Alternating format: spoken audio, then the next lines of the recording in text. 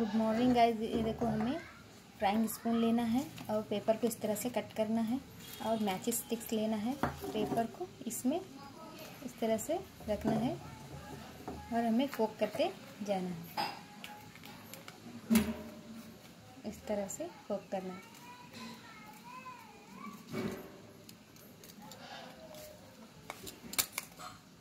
एक मिनट में जितनी हो सके उतने हमें फोक करते जाना है। जितने ज़्यादा बनेंगे हमारे पॉइंट्स उतने ही ज़्यादा बनते जाएँगे।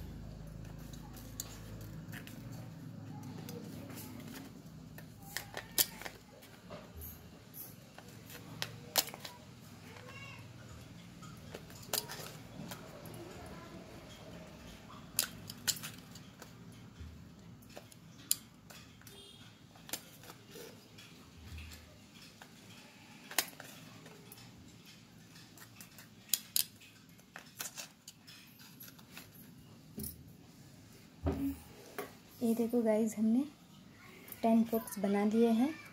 इस तरह से हमारा एक विन हुआ। लाइक करो शेयर करो सब्सक्राइब करो।